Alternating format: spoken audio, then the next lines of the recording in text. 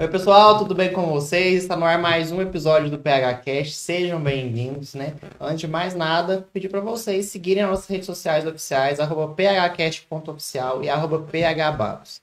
Estamos no Instagram, Kawaii, TikTok, Spotify, no YouTube. E no YouTube vou pedir para vocês se inscreverem no canal, é muito simples. Basta logar né, no seu login aí do, no YouTube e clicar em inscrever-se. Ative os sininhos para os nossos vídeos chegarem para vocês primeiro. Quero todo mundo compartilhando os vídeos, viu? Continuem compartilhando, marcando a gente, que a gente adora ver vocês é, acompanhando o PH Cash. Nosso episódio de hoje é patrocinado pela Fenacem, pela Alphatec, pela Maruque Pereira, pela Madeireira São Gotardo e pelo restaurante Cozinha da Terra.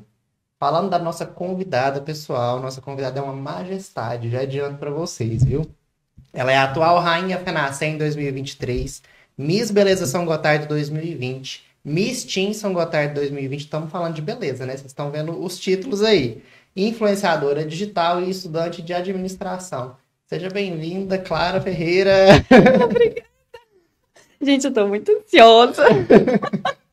Gente, a Clara chegou aqui toda. Nossa, não acredito que eu tô aqui. Que felicidade ver a sua reação. Muito, muito obrigado, seja bem-vindo. Deveria ter sido filmada a reação. Parecia a Alice no País das Maravilhas. É, eu fiquei, eu dei bobeira, devia ter, ter gravado. Gente, mas a gente que tá do lado de fora, que é fã e que assiste, a gente se imagina ali um dia, né? Então, pra ah, mim, foi um sonho realizado estar aqui Cheguei hoje. Cheguei a arrepiar, sim. Obrigado pelo carinho. Eu que Você, desde, a desde a primeira temporada, quando a gente lançou o podcast, eu sempre percebi o seu carinho com a gente, a empolgação na hora de postar os recebidos, né? É, e claro que, que seu momento ia chegar aqui. Não poderia ser nesse momento, né? Tinha que ser. Poderia, teria que ser nesse momento, na verdade. Não teria momento Pro, melhor, né? Próximo aí do fim do seu reinado, né? Da, da FENACEM. Mas a gente não vai falar só de FENACEM, não, tá? A gente quer conhecer a Clara mesmo, além da, do, dos títulos de beleza, né? Rainha, Miss. Quero conhecer você e, conhe e mostrar quem é a Clara de verdade para todo mundo, né? Quem assiste aí o PHQ. Nossa senhora, eu já adianto que quando eu fico um pouco nervosa, eu começo a rir. Na tá verdade, a emoção a flor da pele, eu começo a rir, gente. Falando de emoção, então como que foi na FENACEM? Porque lá você não podia dar uma crise de rir, né? Você tinha que fazer um discurso e tudo. e você se saiu muito bem, todo, né? Foi muito elogiada. Então, te contar, naquele dia eu tava muito tranquila. Tipo assim, eu tava muito nervosa, claro, a emoção ali a flor da pele, mas eu tava me sentindo tão abraçada naquele dia, sabe? Desde o primeiro dia eu entreguei tudo tão nas mãos de Deus, para mim eu já tinha tanto realizado o meu sonho só de estar participando, que no dia eu tava tipo, fiz a minha parte, missão cumprida, e o que acontecer aqui hoje é consequência. Sabe? Ah, e você fala isso com muita leveza, né? Porque acho que é, o que foi. é uma luz muito forte, vem uma, uma sensação, um, algo, o dedo de Deus mesmo, né, claro. Amém. Mas antes da gente falar de Fenassi, a gente tem muito assunto antes, né? Uma história aí de quantos anos você tem mesmo? Eu fiz 22 agora em maio. Então você tinha 21 quando Isso. você foi eleita. Uhum. Então são 21 anos de história antes da FENACEI, né? Sim. Mas, para, antes de mais nada, fique à vontade, tá? Temos aqui uma tábua de frios deliciosa, você viu? Uhum. Você é taurina como eu, então adoro a comida. E eu vim sem janta. ah, então, ó, já fica à vontade, já pega um, um queijinho pra você. Eu tava só esperando você liberar. Essa tábua é lá da Cozinha da Terra. Ela tá linda muito gostosa, as coisas assim. Eu adoro tábua de frios. É, e a Cozinha da Terra é um dos nossos patrocinadores aqui do PH Cash. Tá com a gente, né? E mandou esse, essa tábua aí pra nós hoje, pra, pra rainha se deliciar, né? E ficar. Hum, a rainha gostou. Tá aos pés da majestade. Nossa, demais. hum, ainda mais sem janta. A, a Cozinha da Terra, claro, é um restaurante muito tradicional em São Gotardo. Obviamente você conhece, né? É, são 27 anos de história. Quem não Completaram conhece, agora né? em maio também 27 anos. E eu preciso falar, né? Um restaurante muito bacana, muito tradicional em São Gotardo. Almoço, jantar, shows ao vivo, várias delícias, carnes, massas, rodízios de pizza. Você costuma ir lá? Costumo. E assim, a dona Edna virou até referência aí, né? Para outros restaurantes. Sim. Ela teve aqui no PHCast também contando a história da Cozinha da Terra, a história dela. E foi um, um, episódio muito especial, assim, ela contando histórias antigas. Tem até uma curiosidade, você me contou que estudou em escola de freira, né? Uhum. Ela também estudou em escola de freira e ela veio contar como que era na época dela. Eu assisti a alguns pedaços do Foi, foi bem legal. Vale, vale a pena. Quem não assistiu, tá, lá, tá disponível aí no YouTube, né?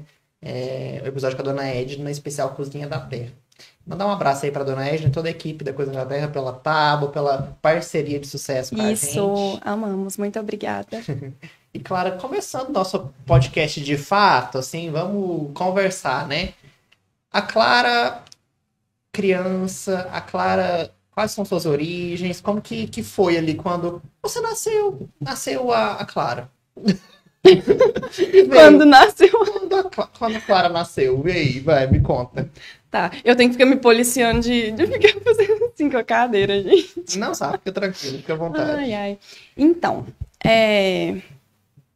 A Clara tem 20, vou falar em, Terceira em pessoa. terceira pessoa aqui. A Clara tem 22 anos, ela é estudante de administração, estou indo para o sexto período. É Rainha Fenacem, né, com os títulos de Miss. Sou filha da Renilda e do Irã, mais famoso como Irã da Rotativa. Eu morei aqui no Brasil até os meus quatro anos de idade. Com quatro aninhos eu fui para Espanha. A gente morava em Barcelona mesmo. Aí eu fiquei lá até os 11 anos. Voltei com quase 12 anos. A gente morou sete anos lá. E aí eu alfabetizei na Espanha, né? Que eu fui com quatro aninhos para lá. Eu não cheguei a estudar nenhum ano Seus aqui no pais foram Brasil. também. O meu pai tinha ido um ano antes que a gente. Entendi. E aí a gente, eu lembro direitinho como se fosse ontem, foi o dia dos pais. E aí teve homenagem, aquela coisa toda lá na Cecília Meirelles, e meu pai não estava aqui. E, mas esse dia foi tão tenso que a minha mãe teve que ir para Espanha comigo. aí já providenciou, a gente já Você- marcou e foi para chorou, Espanha. Uhum, nossa, é horrível, né? É, E por seu pai, imagino que Também era difícil. difícil, né? Sim, com tá certeza. longe, você criancinha. Sim. E assim, eu sou muito grata por a gente ter ido, porque assim, mesmo a parte mais difícil, sem dúvidas, é estar longe da família, mas eu também tive oportunidades únicas, que eu sou muito grata por, por eles terem me levado. É, a experiência de morar fora, ou aprender outras línguas, né? A gente tava Sim. conversando sobre isso. E é totalmente diferente. Enriquece você muito como pessoa mesmo, culturalmente, Uhum. tudo, né? E Sim. você voltou pro Brasil com 12 anos. Sim, com quase 12 anos. É, a gente tava uma crise muito forte. Tipo assim, a maior crise que teve na época, lá na Espanha, a gente tava lá. A gente tava morando lá. Então, meus pais enfrentaram essa crise trabalhando lá. Para mulher, na época, pelo menos, era muito bom de serviço. Tinha muito trabalho, o pessoal respeita muito. Para homem, não. E o meu pai trabalhava na parte de obras, né? Para ele era muito difícil, igual. É, a nossa vida na Espanha era os meus pais sair de madrugada, tipo, às vezes antes das 5 da manhã eles já estavam indo trabalhar, e tinha dia que chegava às 11 horas da noite. E, eu, você- uma criança sozinha, sendo filha única. Então, eu amadureci muito cedo também por essa questão, que eu ficava sozinha. Comia sozinha, fazia tudo sozinha. Você aprontou alguma nessa, nesse tempo? Você lembra de, de fazer alguma arte? Na Espanha. No Brasil você deve ter feito, mas na... Eu tenho Pelo que puxar a pelo memória. que você falou, ficou parecendo assim, não, no Brasil sim, mas na Espanha não me recordo. Não.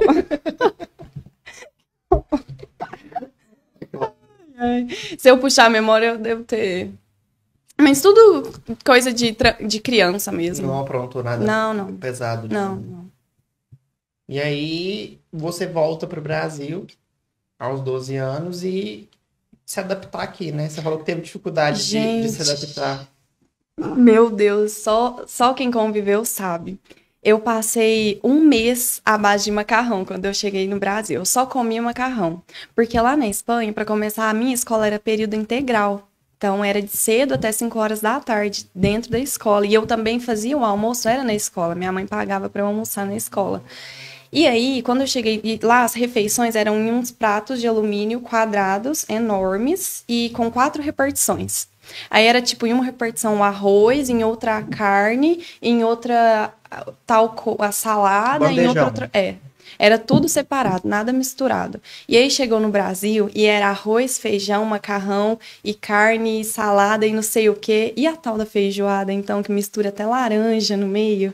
Era aquela coisa toda que a gente tem, né? Aí eu passei um mês só macarrão. Eu não conseguia comer outra coisa. Porque eu achava de outro mundo, sabe?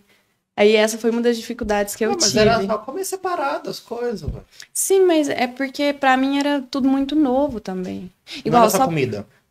Oi? Não era só a comida, né? Não, tipo assim, lá é, na Espanha não tem o feijão. Tipo assim, a gente ia em mercadinhos é, que vendia coisa de todos os lugares do mundo, aqueles mercadinhos que, que é na Espanha você encontra coisas do Brasil, de outros países. Aí lá minha mãe comprava feijão, mas era raridade a gente comer feijão na Espanha.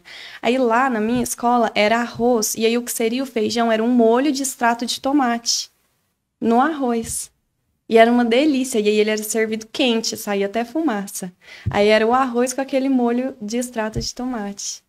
Era você umas gosta coisas dessas diferentes. coisas até hoje? Ou você faz? Eu sinto saudade até pela memória afetiva. Era gostoso. Mas você não faz hoje em dia. Não, esse negócio de extrato De- de, de tomate fazer no arroz de- eu nunca mais Faz só pro comi, não. É, só pro macarrão. Mas lá era uma coisa de lá e eu gostava. E você não tinha amigos aqui, né? Porque você foi embora criancinha e teve essa fase também de adaptação. É, eu não tinha amigos aqui, mas, gente, a minha chegada aqui, quem estudou lá no Balena na época que eu cheguei lá, eu fui o evento. Eu fui o evento humilde, do gente. Eu achei Balena. tão humilde agora ela falar. Não, mas é sério. Em- A Lolô, a brincando, princesa. Não, eu sei, eu sei. A Lolô princesa da Fenacem, eu não lembrava dela lá no Balena. Snob, né? Chegou a majestade e tudo. Tô brincando. Não, não, eu não lembrava, eu não tinha lembrança dela lá no Balena, porque todo mundo me conhecia, mas eu não conhecia todo mundo. Aí, ela, depois da gente já ser candidatas, que ela veio me falar: Nossa, você era o evento lá no Balena, todo mundo ficava louco pra andar com você, pra ficar perto de você. A menina que veio da Espanha, que ela falava espanhol, que ela não era daqui, que não sei o quê. Eu não tô exagerando, era coisa de outro mundo. Então você fez amigos fácil. Fiz amigos fácil. Você não Graças ficou isolada, né? Porque poderia acontecer muito bem o contrário. Poderia. poderia juntar aí de todo mundo odiar a menina que veio da Espanha e não amar. Poderia ter acontecido. A menina mas graças a. Deus não aconteceu. Mas o meu primeiro dia de aula foi muito traumático. Eu lembro que a minha profes- professora na época era a Alessandra. E o meu primeiro dia de aula foi traumático porque na Espanha, para você falar na sala de aula, você tem que levantar a mão e ter a permissão do professor. Sem ele te dar permissão, você não fala. E aí eu cheguei lá no Balena, na minha sala, tava todo mundo conversando ao mesmo tempo, gritando literalmente. E aí eu comecei a chorar, desesperadamente. Comecei, eu lembro que eu abaixei os Quando as braços pessoas assim. falam todas ao mesmo tempo perto de mim, eu também faço isso, choro, grito. Mas eu não aguento muito barulheira. Eu surto. Ai, ai. Eu comecei a chorar. é, e só queria, na minha cabeça, eu só tava assim, Deus, tem como me transportar pra, pra minha leva sala pra lá da, Espanha. da Espanha. Foi traumático. Eu assustei. Foi assustador. Mas, assim, rapidinho eu entrei no clima da bagunça ali, também. comecei a mudar e entrar no, no ambiente. A sua adaptação no Brasil foi mais em relação à comida, à escola, A comida, cultura. escola. Sim, e eu também não sabia ler em português. É, minha mãe até se arrepende de não ter levado alguns livros do Brasil ou ter comprado livros em português pra mim lá. Porque eu não conseguia ler, Pra mim era uma dificuldade de ler.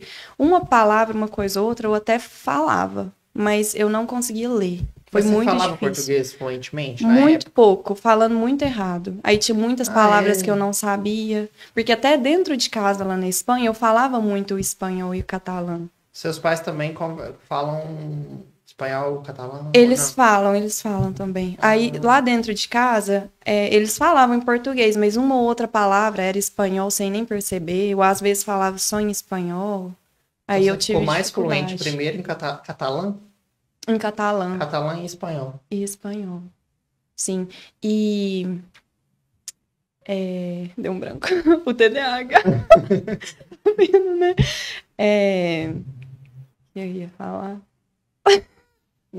Não, não vai dar bordão, não. Ai, ontem eu assisti esse episódio da blogueirinha com a Bianca, a Boca Rosa. E a blogueirinha tava falando alguma coisa e ela fala.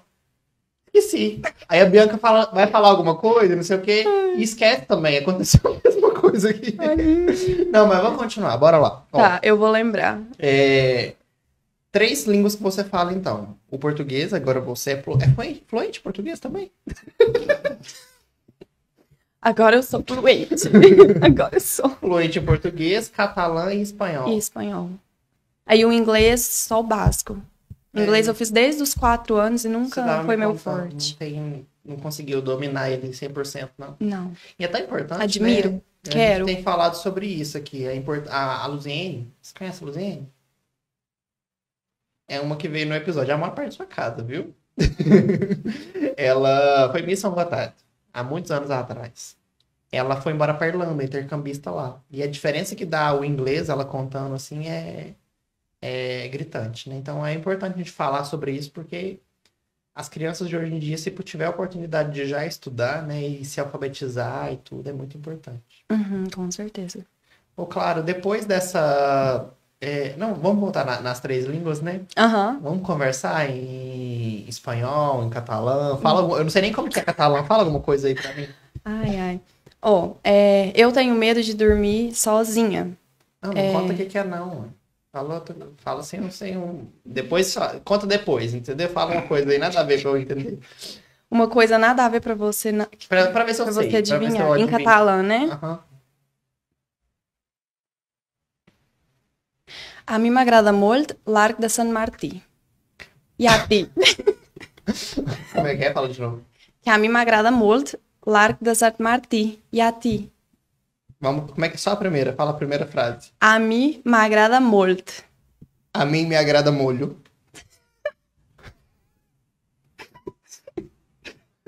Continua, qual é o resto? L'arc de Sant Martí. Lá na São Martim. né? Lá na, na Santa Casa? Como é que é que você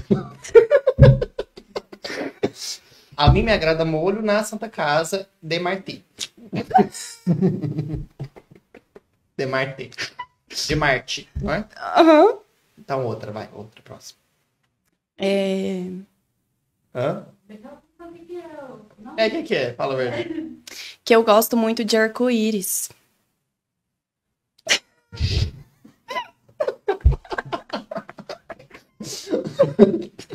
Ah, tá. Então tá bom.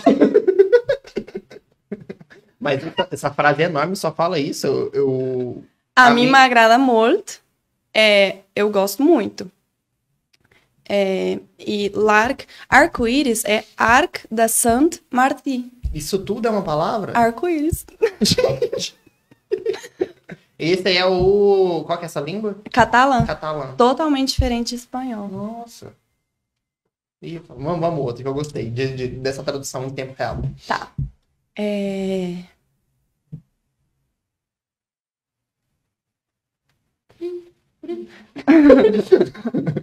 calma, calma. É... Da onde é la teva samarreta?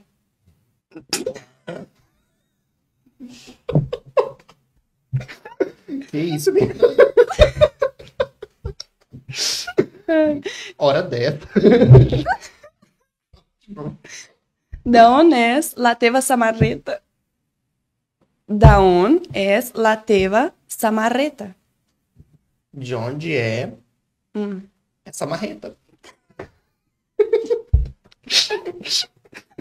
Não é isso? Claro que é. Aham. Confia.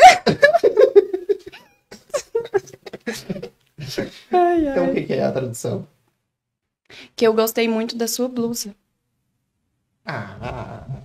Esperava mais. Marreta é blusa? Samarreta. Samarreta é blusa. Samarreta. O catalã é muito diferente do espanhol. Vamos em espanhol, então. O espanhol é mais parecido, né? Eh, Bueno, entonces ya que tengo que hablar en español, a mí me gustaría decir que estoy inmensamente feliz de estar aquí contigo hoy y que para mí es, es la realización de un sueño porque desde el primer día que tú lanzaste esto, yo me imaginaba aquí y entonces estoy muy feliz y muy honrada de estar realizando esto contigo. Ah, não vou nem zoar, gente, porque eu amei. Dá Gracinha. entender mais, Eu né? entendi tudo, eu acho. Tá muito honrado de estar aqui, tá muito feliz desde que lançou. Então, ó, esse aí eu entendi. Isso. Sobre língua, eu falo espanhol também. Você não me contou. Ah, tá. Não, eu só entendo, né? Acho que o espanhol é mais fácil, mas às vezes nem é tanto, né? Tem coisas que não, não dá pra entender, não. A gente acha que entende É. e fala mais rápido, né? Pelo, que você, pelo jeito que você conversou aqui, geralmente a linguagem é. Sim. E o espanhol varia, tipo assim, um, se você pegar um, um argentino, uma pessoa da Espanha e um boliviano, cada um fala num sotaque diferente. Nossa. Principalmente o argentino, né? Que fala bem rápido. O pessoal fala que o português que é uma língua muito difícil de, de entender, né? É, mas De, pra na eles, verdade, eu pra acho quem não que- conhece, não sabe português, quem quer aprender é difícil. é, sim, eu acho que deve ser mesmo. Mas tudo bem, chegamos aí é, ao fim do quadro Clara Ferreira, a, a menina que veio da Espanha. é, é, mas foi muito bom, vamos embora lá. É, Clara, você estava contando sobre a sua volta para o Brasil, né? Os estudos e tudo. E aí você viveu a sua adolescência, continuou morando aqui até hoje, né? Mas a sua adolescência ali estudando. Como que era a Clara na escola no Brasil? Então, pra começar, eu repeti um ano, né? Porque. é Bacana porque é, eu cheguei da Espanha e aí os meus pais estavam com receio de deixar eu ir pro colégio direto, né? Que seria no sexto, porque eu não sabia nada, nem ler. E o sexto, no colégio, já começa algo mais complicadinho, né? Aí eles deixaram eu repetir um ano no Balena, até porque tava na metade do ano. Então eu repeti metade do ano que eu já tinha feito na Espanha, no Balena, e aí sim que eu fui pro, pro sexto ano no colégio. E a Clara na escola. Em relação a notas e tudo. Ai, gente, eu nunca fui das melhores. Sinceridade, né? Eu nunca fui das melhores, mas eu era esforçada. E eu sempre fui muito da parte de escrever, de arte, essa coisa. Tanto que a matéria que eu amava era arte. Só que a arte daqui, a arte da Espanha era muito diferente também. Era boa a arte lá, Nossa. porque na época de escola que eu não era. Não, lá era muito bom. Até porque lá eu estudei em duas escolas. Já tô mudando de assunto, posso? Claro, bora. Lá, a minha primeira escola lá foi a Santiago Ramón y Cajal. E a segunda foi a Imaculada Concepción d'Horta. As caras que o PH tá fazendo. Eu não tenho muita maturidade pra ela falar essas coisas. Ai, ai. Aí, a primeira escola era pública, mas era sensacional também. Era uma escola de quê? De quatro andares, Qual com que era o nome? é, Santiago Ramón y Cajal. Santiago Lamônica. Ahá. Santiago Ramón y Cajal. Santiago Ramon e Carvalho. Santiago Ramón y Cajal. Carralo. Cajal. Carralo. Cajal. A língua vai lá na garganta. Isso. Tá. Santiago. Santiago Santiago. Ramón. Ramon. Ramón. Ramon. Ramón. Ramon. Esse quadro é de comédia. Hoje essa entrevista é de comédia. Ramon. O que, que é? Eu tô escutando errado, então. Santiago Ramón y Cajal. Não, fala devagar. Santiago. Santiago Santiago. Ramón. Ramon. Rrr. Rrr. PH. Rrr. Como é que é? Rrr. Calma. Aonde que a língua vai? Tua língua treme. Ela faz o. Isso. Aí você faz Santiago Ra Ramón Tá. e Cajal. Até eu tô bugando já. Santiago. Santiago. Santiago. Tem um todo um Santiago. Isso. Santiago Ramón e Cajal. E Carralo. Eu não sei nem o que eu ia te perguntar mais. De tanto que sei que eu embaranei aqui agora. E a outra, Imaculada Concepción d'Horta.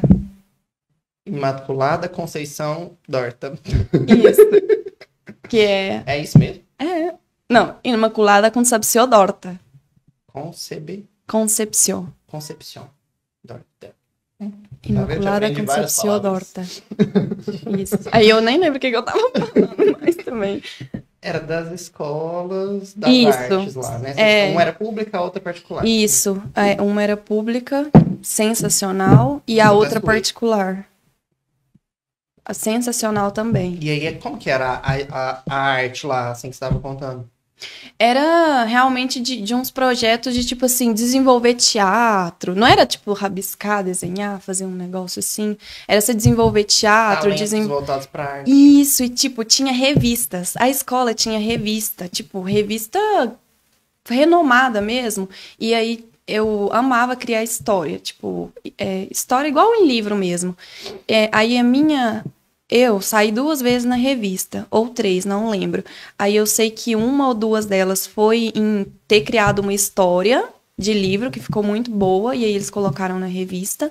E a outra foi que foi a capa.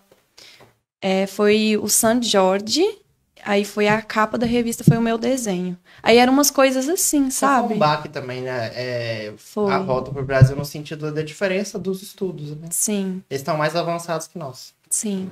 Tanto que nessa minha primeira escola, é, eu tinha, era período integral, aí lá eu tinha pela escola, minha mãe não pagava nada extra. Você se inscrevia e eles você podia fazer. Eu fazia natação, ginástica rítmica, futebol, basquete e dança. E aí, né, como eu comia na escola, minha mãe pagava para eu comer lá, a gente fazia refeição e aí eles ofereciam, tipo, alguma coisa para você fazer. Aí tinha xadrez que eu fazia, aula de xadrez, eu fazia é, canto. É, aí a gente tinha que escolher um instrumento nessa escola para aprender a tocar. E eles te dava a oportunidade de clarinete, flauta travesseira, aquela. Ah, vários. Tinha muitas opções. Aí na época eu queria a flauta travesseira.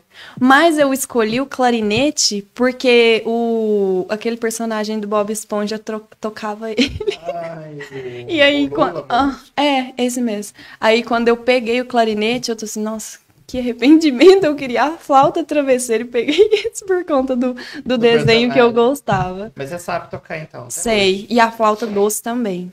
Mas a flauta doce, a gente, eu tinha aula de flauta doce, era na outra escola. Muito legal, né? E tudo incluído. Na outra escola é, também tinha patinação. Hoje você, é, você pensa em voltar? Não. É voltar pra morar, não. De férias, se Deus me permitir, sim, quero demais. Mas pra morar, não. Eu acho o preço de morar fora, é, longe da família, muito alto. Pra mim, que eu sou muito apegada, não, não compensa. Eu sempre falo isso. Eu não tenho nem passaporte, mas eu tenho vontade de conhecer outros países, não pra morar. Aham. pra né? morar, Eu, eu não me vejo saindo daqui, né, do Brasil. Mas eu tenho vontade de, de passear e conhecer o mundo, assim. Acho que é- são passear, outras sim. realidades, né? Sim. Ter morado fora até me deu essa oportunidade, que a gente chegou a conhecer outros países, viajar. E é muito bom que a gente conhece outras culturas, é, gastronomia, que eu sou apaixonada. Se eu viajo, eu quero experimentar coisa nova, conhecer. Ô, ô, Clara, e você hoje faz administração, né? Sim. O que que te fez tomar a decisão de ir para a área de administração? Então, é, desde 2019 eu trabalho profissionalmente como influenciadora digital. E aí eu queria fazer um, um curso, né, uma faculdade, mas eu não, não, também não queria sair de São Gotardo, até porque o custo é alto, né, de você pagar uma faculdade e ainda o ônibus e tudo que envolve ali. E aí a administração é algo que envolve várias áreas, né, abrange um leque extenso aí de oportunidades. Então, melhor, já que eu estava parada de estudos de faculdade, era melhor fazer ali para ter um plano B e também acrescentar ali do que não fazer nada. Aí eu fiz administração, inclusive ela aborda o marketing. Quando o assunto é marketing, eu amo. Conta não é muito na minha área, isso tem que ser sincera, né? Mas tem, né, essa parte também. Tem. É o que mais É, tem, né? mas tem, na verdade. é que eu gostava. Eu, eu, Ai, ai. eu tinha facilidade com, com números em algumas matérias, né? Eu fiz no UFV. Sou formado em administração também. E aí você falou do marketing, eu também gostava muito do marketing. Naquela época eu nem trabalhava com internet, nada, não era influenciador, não me via na comunicação. Mas o marketing sempre me chamou atenção. Eu também. Marketing, É. sempre. Marketing, comunicação, arte. Sempre, sempre. Então você não se arrepende de ter entrado no curso. Não, eu não me arrependo. Acaba que te ajuda também, né? E Ajuda. depois, assim, você vai. Depois de formada, você vai ter várias. Pode ir para vários caminhos. Sim, Né? O marketing é um deles que, que você faz tão bem. É. Sim. E, tipo, a gente nunca perde por acrescentar em conhecimento, estudo, né? Mas então... você se vê em outra coisa, outro curso hoje ou não? Então, administração é um curso que nem passa pela minha cabeça exercer, até porque eu amo muito é, o que eu faço hoje. Eu não consigo me imaginar fazendo outra coisa. Mas, se um dia, né, a gente nunca sabe o dia de amanhã, eu tenho ali um plano B. Mas eu estava até comentando esses dias para trás que eu pretendo sim fazer ou marketing ou alguma outra coisa. Quero continuar. Né? Você pode fazer pós-graduação. Em marketing, sim. Seria uma boa, que aí é até bom que eu já elimino Eu já eu, eu tô na terceira. Todas voltadas para essa área. É marketing e comunicação. Muito bom. Marketing e comunicação, Acho que tudo. a- a que eu tô fazendo é oratória e. Ai, deu um bug. Comunicação e oratória, algo assim. Mas você falando aí de ser que você era bom em conta, lá na Espanha, tipo assim, esse negócio de conta minha tão desde criança que os anos que eu morei na Espanha, na escola pública, tinha o cursinho para quem ficava de vermelho em matemática. Aí, tipo assim, se você não tirasse nota boa, você era obrigada a fazer aquele cursinho Que ajudava. que ajudava. A vida inteira eu- eu fui do cursinho. A vida inteira. Sempre teve dificuldade. então. Sempre tive dificuldade. É, mas tem áreas que a gente domina mais mesmo, assim. Matemática. Eu, no caso, eu não gostava de química, eu não gostava de física, eu não gostava de geografia, história. Não, eu um, já história amava. geografia, eu não gostava. Geografia eu amava. Cara, que não gostava de nada, né? Você começou. Gostava do básico. Gostava de arte. matemática. Mas eu era bem, você acredita? Tinha uma professora no colégio, Educação a Nilva, que ela me fazia participar. Tinha um troféu até pouco tempo aqui em casa de, de que eu ganhei de um, um negócio de desenho. Eu gostava. O Clara, antes da gente entrar na, na sua parte profissional, você até começou a falar, né, sobre É. a- o trabalho como influenciadora. Eu queria comentar com você sobre um dos nossos patrocinadores. A gente falou de tradição na Cozinha da Terra. Outro, outro, outra empresa patrocinadora do PHCast que faz isso tudo aqui acontecer é a Maruc Pereira, né, que é uma empresa muito tradicional também, uma empresa familiar. Conhece, né? Aham, muito famosa. Sim. São mais de 33 anos de existência em São Gotardo. Começou com, com o pai e a mãe, como se diz, né? E depois os filhos foram caminhando para essa área também, né? Continuando ali como dentistas. Eu descobri recentemente, parece que só um dos filhos não é dentista.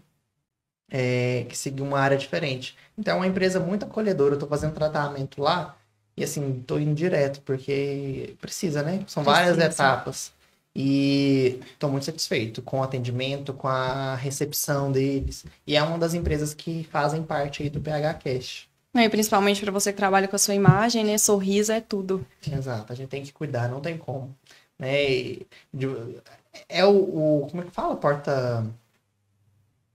Aí fugiu a, a, a frase que o pessoal fala. Cartão postal? Não, é.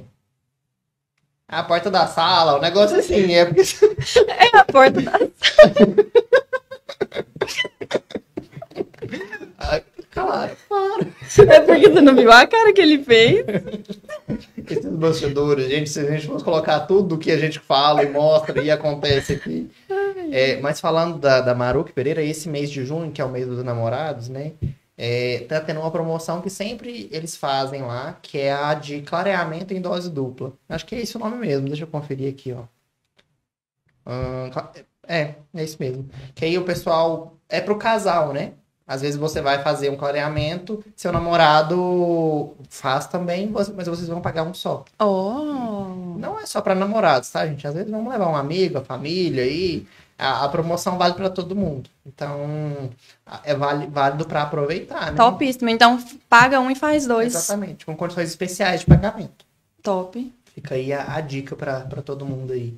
E um abração para toda a equipe da Maroc Pereira, né? Agradecer aí pelo patrocínio, por, pela nossa parceria de sucesso aí, que faz o PHCast acontecer. Isso aí, que são essenciais, né? Isso aí.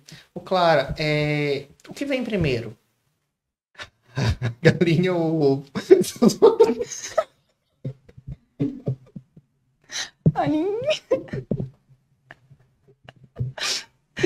Ai, desculpa, eu ia perguntar outra coisa, mas aí me veio essa piadinha. o concurso de Miss ou a sua carreira como influenciadora? O que aconteceu primeiro? É.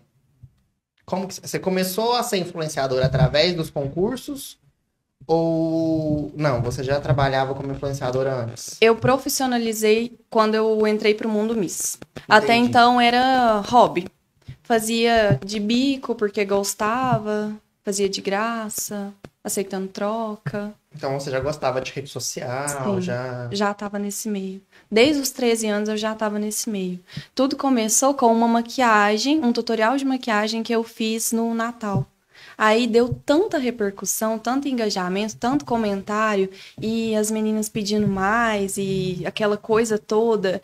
E assim, a gente faz muita amizade, né? Tipo assim, por um tutorial de maquiagem e as meninas responder meu direct, eu tinha feito mil amizades ali do Instagram, aquelas amizades que parece que você conhece da vida toda, nunca viu pessoalmente, nem conversa ainda pessoalmente. com 13 anos? Com 13 anos foi o meu primeiro tutorial, no Olha só. Natal. Então eu tava entrando no ano que eu ia fazer 14. Foi logo que 13 você ou chegou 12, da Espanha, viu? então. Foi. Eu tinha 13 ou 12, pra falar a verdade, eu não lembro exato. Mas era uma dessas duas. Aí foi no Natal que eu fiz um tutorial de maquiagem. Mas aí era tudo hobby. Aí eu profissionalizei mesmo em 2019, quando eu participei do meu primeiro concurso de Miss. Porque aí me abriu muitas portas, eu vi que eu podia começar a cobrar. E como que foi essa experiência? O que, que te, te levou a tomar a decisão de entrar para esse mundo dos concursos? Eu sempre fui apaixonada por esse mundo de concurso. É, desse mundo da beleza em si. Desde criança, minhas brincadeiras eram passarela, cantora e dançarina, alguma coisa que envolvesse esse meio de comunicação, das câmeras. É, eu lembro que, igual, a tia Lili, a, é, a tia Lili é irmã do meu pai. Eu tenho muitas histórias do pessoal contando o tanto que ela ficava brava de chegar em casa e eu estar com os saltos, as, os acessórios dela e aquela coisa toda, fingindo que eu era uma modelo, fingindo que eu tava na passarela. E isso foi antes de eu ir pra Espanha, quando eu morava no Brasil. Então eu Ah, tinha você tinha. Uns, é, menos de quatro anos de idade eu já fazia isso. De ir atacar o quarto dela, sair uma, um neném em cima de salto 15, cheia de acessórios, fazendo bagunça. E aí, tipo, ela era muito brava e minha avó coitava. e o bicho pegava. Mas assim, vem desde criança essa paixão. Aí cresci também assistindo, acompanhando Os concursos. os concursos, esse mundo todo da beleza. E aí, em 2019, teve o Miss São Gotardo. Eu não lembro se foi o primeiro. Acho que foi o primeiro. Ou não. Antigamente tinha, né? Mas é, Não. É tipo com o nome Miss São Gotardo, do jeito que foi aquele, eu acho que foi o que ele pa- parou de acontecer. Ah, tá. O Miss São Gotardo. Igual a Luziane foi Miss São Gotardo. Ah, que eu te tá. falei, só que isso foi em 2001. Mas foi. Será que foi da mesma coordenação? Não, Não, era né? outra Era galera, outra. né? aham. É, Então teve outros concursos antigos e parou-se com isso, né? Não teve mais. Aí acho que veio o seu, acho que foi o primeiro mesmo, assim, depois que. Sim, depois, de desse muito tempo, é. né? Concurso mesmo, de ter a seletiva toda e a Sim. coroação, acho que foi mesmo.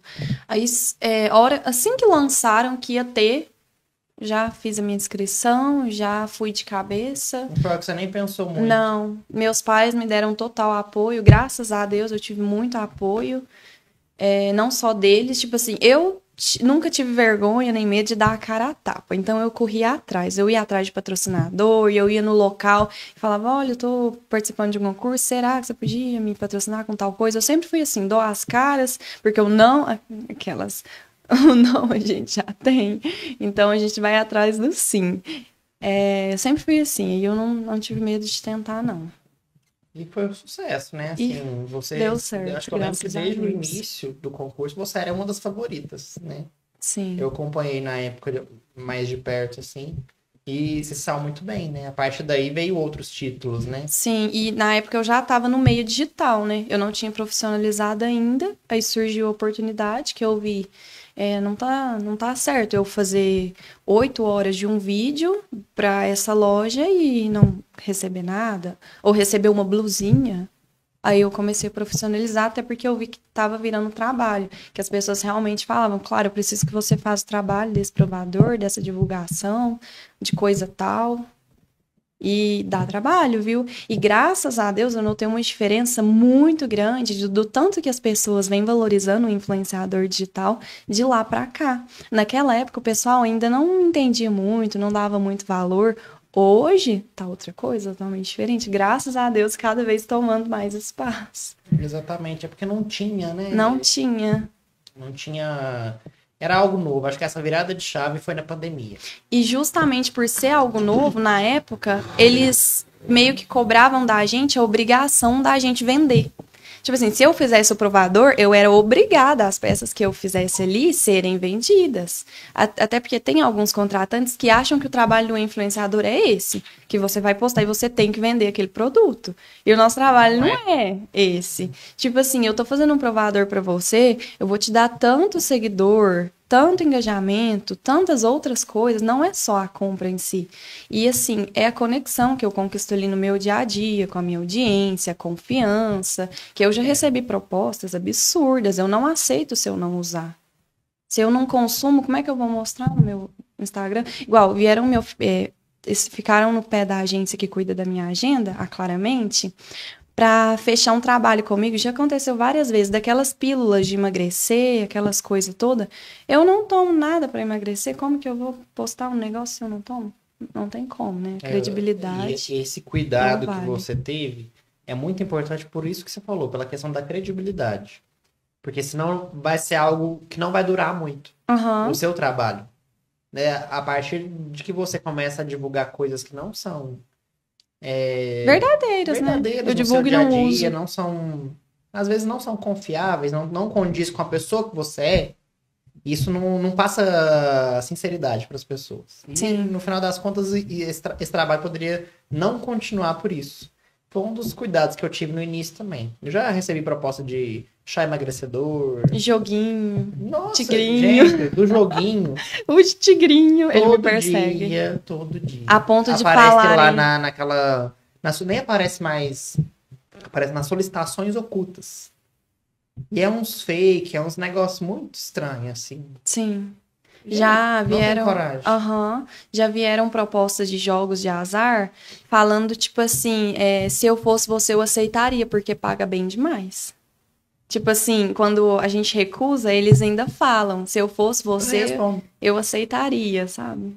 Eu nem respondo mais. É, eu não respondo mais também, não. E, Mas essa credibilidade é muito importante, de ser, você ter essa consciência, né? De, de fazer as coisas certas, que condizem com o seu dia a dia. Porque aí você vai passando credibilidade para as pessoas mesmo. Sim.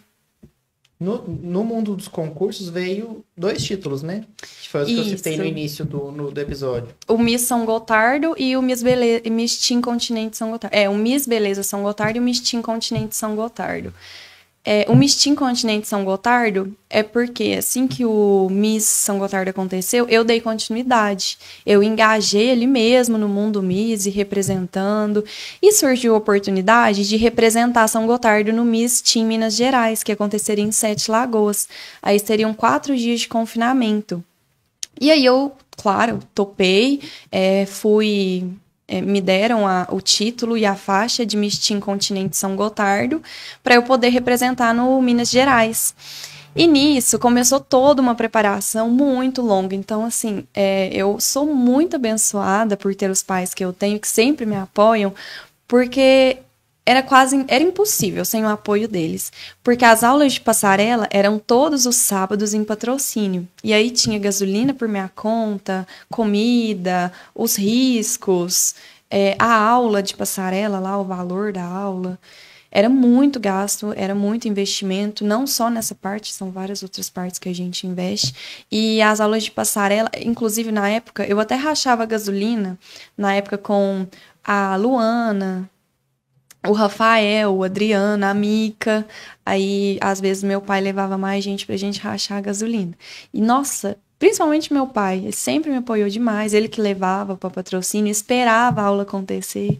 Nunca falou um A sobre a demora, sobre nada. Eles apoiavam demais. O apoio da família é essencial, né? Essencial. Para a realização dos sonhos. Essencial. E, tipo assim, no Miss São Gotardo, eu fiquei em segundo lugar, como Miss Beleza São Gotardo. E a Mica ficou em primeiro. E, assim, os meus pais, tipo assim, eu tava super grata. Eu, assim, a Mica arrasou, super grata, a gente super amiga até hoje, amiga demais. Adoro a Mica, um beijo. e aí eu tava super feliz com ela, eu não importei de ter ficado em segundo, pelo contrário, foi um título que eu levei adiante com muita honra, levo até hoje. Mas meus pais, eles ficaram tão tristes, porque eles eles estavam se sentindo na minha carne, tipo assim, parece que era eles que tinham participado. E aí pros próximos, eles já ficaram com um coraçãozinho na mão sabe? De tipo assim, a, a gente investe tanto, faz, se prepara tanto, e se não der certo? Aí nem eu tinha esse receio, essa de e se não der certo, eles tinham essa preocupação. Então os pais pegam a dor Mas, da assim, gente. nem sempre o, a pessoa que ganha o concurso é o que realmente sabe aproveitar as oportunidades. Sim. Né? Não tô falando do seu concurso, não, de jeito nenhum. A Mica adora a Mica, viu? Pelo amor de Deus. Depois vocês interpretam o negócio errado. É, mas em relação a, a, a, oportunidades mesmo. Isso não é só em relação ao concurso. Pode ser que você nem chegasse perto de ganhar, mas você se destaca numa rede social, você usa a sua influência e faz mais sucesso às vezes que a, que a pessoa que ganhou. Sim. Né? Então, é, o participar do concurso é saber aproveitar também. Né? Isso. Né? Tudo dá oportunidades e você tem que saber aproveitar. Que se você não quiser também, não, não aparece nenhum, mas se você quiser, Aparece muito. E para mim apareceu, graças a Deus. E foi um período muito longo, muito árduo de preparação para esse Mistim Minas Gerais. E aí foi onde entrou a pandemia. Entrou a pandemia, ficou dois anos parado. E aí a minha viagem para o concurso que estava agendada para o ano que começou a pandemia, o concurso foi adiado. E ficou dois anos nessa de empurrar com a barriga. E quando ele voltou, quando iria voltar, eu já estava assim passou, tipo assim, acho que não tô sentindo que tá na minha hora, tô sentindo que não quero mais isso, sabe? É. Foi tipo, parece que aquela ilusão toda e a pandemia veio, foi um momento tão delicado que eu já não tava naquela fase mais. Porque, assim, é 100% doação também, né? Esses concursos. Tem que se dedicar muito. Sim, e principalmente naquele caso, porque eu ia todo sábado para patrocínio fazer as aulas de passarela e tudo tinha um custo muito alto. E eu já não me via mais naquela fase, para passar por isso naquela fase. Hoje você se vê futuramente voltando para os concursos? Não me vejo. Não? Não. Porque poderia. É, né? eu nunca digo nunca. Você é muito jovem ainda, né? E são vários concursos que, que poderia te levar para um novo patamar, né? Sim, com certeza. Com várias franquias, o Miss Mundo, Miss Terra, é, Miss Universo. Já pensou? Sim. É, eu nunca digo nunca, vamos ver. Precisamos aí de títulos para São Gotardo. Acho que títulos nacionais mesmo, acho que nunca veio para cá. É.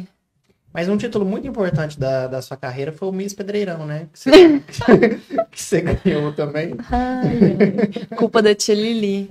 Tia Lili que estipulou, fez ele. É. Criou ele. Conta aí sobre esse concurso, Miss Pedreirão. Gente, Miss Pedreirão é porque na época da. Eu sempre mostrei minha rotina nas redes sociais, né?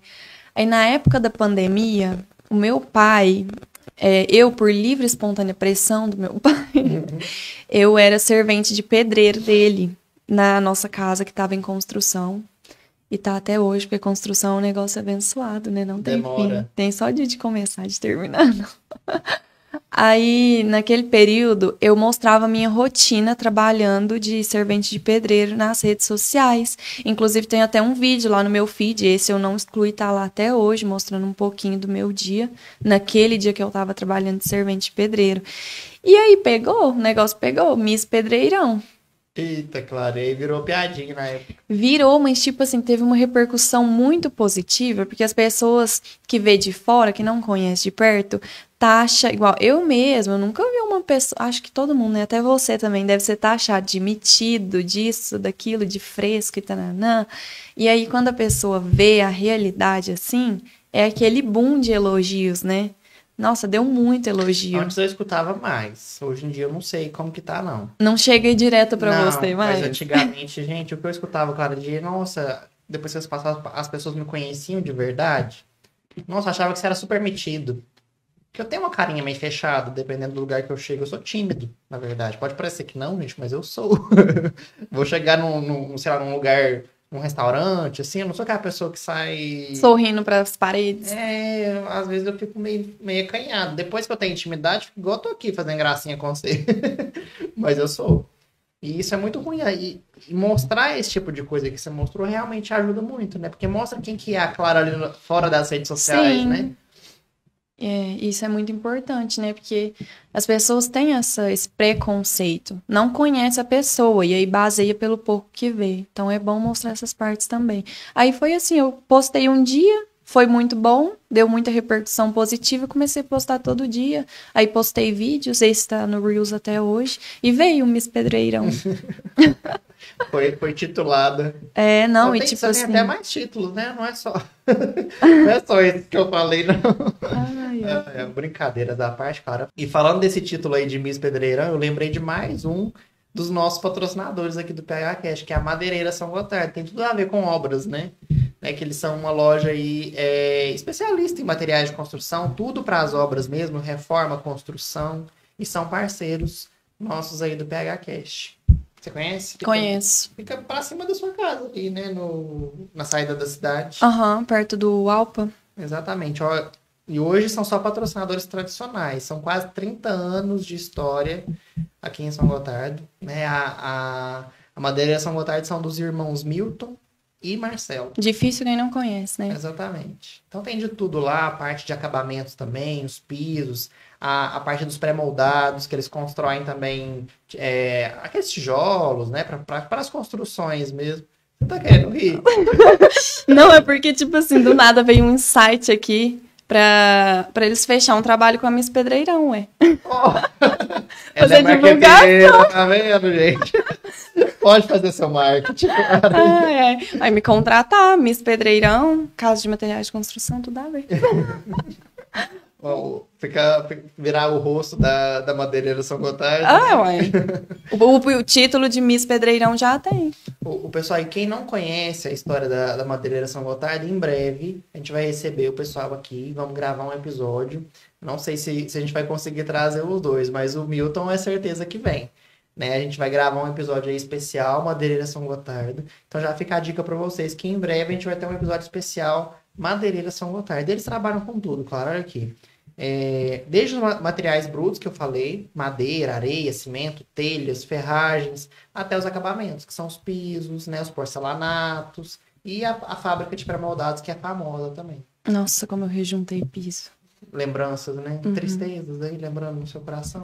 Tava em família, tava até legal. São momentos que nunca. Mas foi exploração. Aquelas. Eu ainda perguntei, papai, quanto você vai me pagar a diária? Aí ele, você está fazendo mais, você não está fazendo mais do que a sua obrigação. Olha a casa é pra gente. você. Eu, tá bom. É, no, fundo é- no final das contas. é Real. É minha, é nossa. Mais um abraço aí para toda a equipe do Madeireira São Gotardo e agradecer mais uma vez aí pela nossa parceria, né, pelo apoio ao PH Cash, porque sem eles a gente não conseguiria ouvir tantas histórias legais como a do Miss Pedreira. né? Com Miss certeza.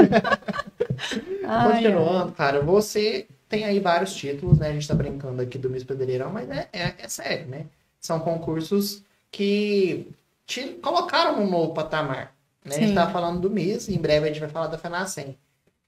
Nesse início, o que, que você via de mais dificuldade, assim? No Miss, Isso. Então, até então, eu já tinha uma certa visibilidade por já estar no Instagram, nas redes sociais, mas o Miss São Gotardo, ele deu uma visibilidade muito maior, né? Até porque uma das provas do dia do concurso era a prova de banho, que a gente desfilava de biquíni. Tava todo mundo esperando por aquele momento, né? É, e assim, eu, dos candidatos, eu fui a única que fez cartazes também. Na época, inclusive, foi até o, o Nandi que me deu. O Nandi, na época, era o dono do supermercado campestre. E ele me deu o patrocínio para os meus cartazes. Inclusive, gratidão eterna a todo mundo que sempre me ajudou. E em patrocínio, essas coisas todas. E nisso, eu fui a única candidata que fez cartazes e espalhou pela cidade toda. Então, eu acho que eu fui a que mais se expôs no concurso, porque eu era a única ali. Aí eu colei minha cara, escrito Miss São Gotardo, não sei o quê, pra, na cidade inteira. Mobilizei mesmo. E se doou bastante. Sim, né, me concurso. doei bastante. Tipo assim, fiz 100% da minha parte, o melhor. E a visibilidade assusta, né? Porque junto com tanta exposição vem também julgamento, crítica, que sempre tem, né? Independente. Mas, assim, foi um boom de primeira, mas aí a gente costuma também, graças a Deus, como eu também já estava no digital, nas redes sociais. É, eu já estava mais ou menos situada ali na situação. Você ficou feliz, então, com os títulos que veio, né? Sim, nossa, demais. Mas então, o que você considera de dificuldade são essa parte das críticas? Sim, eu acredito que sim, porque, claro, tudo exige muita doação, passarela. Na época, no Missão Gotard não teve oratório, a gente não precisou falar em momento algum momento algum. Então, essa parte de comunicação e oratória não, não teve. Mas a passarela, a desenvoltura, postura, essas coisas todas teve. É uma coisa que tem que ser muito trabalhada, porque é avaliada. Outra coisa era o corpo. Desde que eu me entendo por gente, sou muito preocupada com o corpo, até porque eu trabalho com a minha imagem. E na época, era uma época que eu tava, assim, muito focada na dieta e fazendo procedimento. Tipo, é, aquelas drenagem e tinha outra coisa também, um, outro procedimento que não era invasivo que eu fazia na época, mas tudo cuidando do corpo, era realmente um investimento de tudo ali, naquele é, momento. A, e não só para o concurso, né? Que não só para concurso, hoje, eu né? gosto. É um cuidado. Eu gosto demais, eu tenho que ser estudada nessa parte, tanto que eu gosto de me cuidar. Tem um nome, é, não sei se é só para homem, metrosexual. Não sei. Que é quando a pessoa se arruma demais. Tem um negócio assim. Ai. Eu acho que é pra homem só. Não tipo, sei. Mulher deve ter outro nome.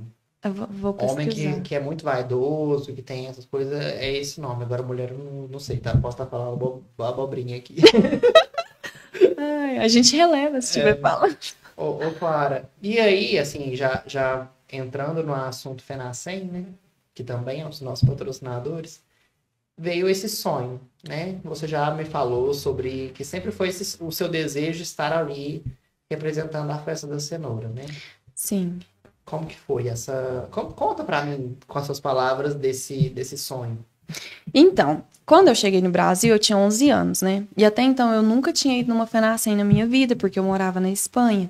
E aí a primeira vez que eu fui na FENACEM foi uma coisa indescritível. O meu olho brilhava, eu me sentia na pele daquelas três candidatas ali na arena Você da FENACEM. Qual era o concurso? Eu não lembro, eu, era, eu tinha uns 11 anos. 11 ou 12. Eu acho que eu não tinha feito 12 ainda.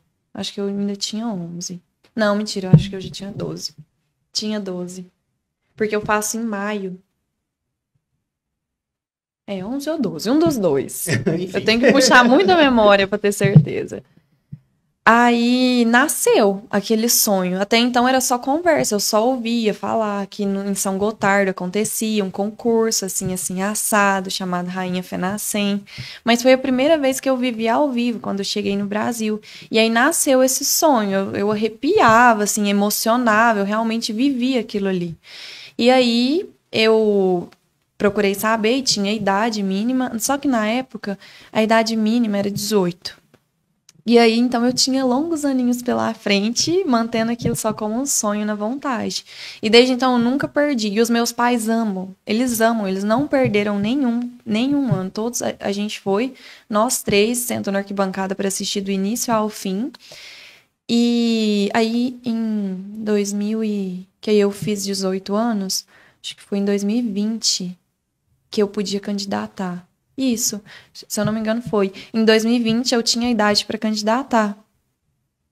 Só que eu tava com, com o título de Miss Beleza São Gotardo e Miss Team Continente. E aí, é, não deixaram, né? Eu não pude candidatar por conta que eu já estava representando São Gotardo com dois títulos. Aí a candidata Rainha Fenacem já está representando naquele mesmo ano com dois títulos, acharam que não seria legal. Eu super entendi, né? Claro, super entendi assim, chorando com por uma semana. Coração. Sim, e tipo, nossa. Era o ano foi... da Carol? Era o ano da Carol. Sim. Só que aí veio a pandemia e ficou dois anos parado, né? Mas foi no ano que elegeram que era, a. Ela ganhou. É. Que, sim. No ano que foi as três candidatas do ano da Carol.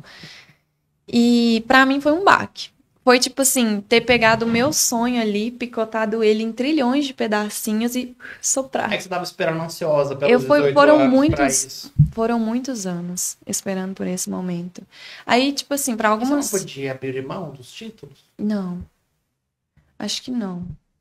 Porque às vezes outra pessoa representaria e você poderia. Não, é, mas, mas acho um que risco, não. né? Que você poderia perder. É, não me deram nem opção também, não. Só falou, É. não pode e tal, me explicou. Eu compreendi, compreendi sim, chorando por uma semana. É, para algumas pessoas pode ser algo muito banal, tipo assim, gente, ela não pôde esse ano, é só tentando que vem. Que foi o que a maioria, meus pais, todo mundo falou. Mas só eu sei como aquilo foi um sonho esperado por tantos anos e chegou na hora H, foi tipo Eu precisava esperar mais um ano. tudo então. por água abaixo. E quando veio a pandemia, então? Que era mais dois. E eu nem sabia sabia que ia ser tempo, dois, né? é, eu nem sabia quanto tempo. Mas foi um baque gigantesco não ter podido aquele ano. Hum, assim, eu tava meio que deixando, pedindo a Deus pra me falar por quê? Por que que não deu certo? Querendo uma Ah, resposta gente, ali. Quem gosta, né, de concursos, do concurso rainha, gosta de verdade, né? Gosta de Gosta de verdade. acompanhar, vibra, gosta de, de- No caso das meninas, querem concorrer, querem Aham, participar. Não tem eu acho tão bonito olhar, ver isso, porque eu me identifico, eu gosto muito, desde pequeno, sempre acompanhei. Então, ver esse, esse olho brilhar aí, né? Essa tristeza por não ter concorrido no ano que você queria. Enfim, é, é bonito de ver. É, foi um baque, viu? Mas aí, dois anos de pandemia, aconteceu o concurso da Carol e 2023 estava aí com inscrições abertas. Só que eu já tinha, tinha doeu, sabe? Doeu muito, trauma. fez uma ferida em mim. Nossa, E aí eu tava naquela de tipo, será? Tanto que quando abriu as inscrições, eu não fui correndo fazer igual eu tinha feito da outra vez. Eu pensei muito e eu falava com as pessoas que estavam mais próximas ao meu redor. Será mesmo? Será mesmo? E será mesmo que eu vou? E fiquei naquela, e depois de uns bons dias que já estava acontecendo ali as inscrições, que eu fiz a minha inscrição. Mas eu lembro direitinho que quando eu fiz a minha inscrição, antes de enviar, eu tenho dessas de conversar com Deus, que eu sou dessas, tipo assim, se eu deixar nas mãos de Deus, se não acontecer do jeito que eu queria, tá tudo bem, eu não tenho nem direito de me frustrar, porque eu deixei nas mãos dele. Então quer dizer que era pra ser assim. Aí no dia que eu fiz a inscrição, eu lembro direitinho que eu falei, Deus, pelo amor de Deus, se não for pra dar certo, nem deixa eu passar pra próxima fase, não, pra seletiva. E Mas você queria o título ou só participar já? Um, só Você de ser candidata, participar? só participar. Tá doido? O título já era tipo assim. Outro patamar. Não, né? é. Outro Vamos por patamar. partes. Outro patamar. Aí fiz minha inscrição e enviei. E aí chegou que eu tinha passado para a próxima fase da seletiva. No, meu Deus, Seu aí d'água. Aí o negócio. Aí o negócio começou a cair a ficha. Aí a ansiedade da pessoa que é ansiosa também, né? Veio com tudo. Sofrido, né? Quem é ansioso. Nossa Senhora. Aí aconteceu a seletiva e eu fiquei entre uma das três candidatas. Ali, pra mim, eu realizei um sonho. Geralmente as, sele- as seletivas, né? acho que antes do seu concurso eram abertas. Eram engano. No abertas. seu ano foi a coordenação da Camila, né? Então tava com várias novidades.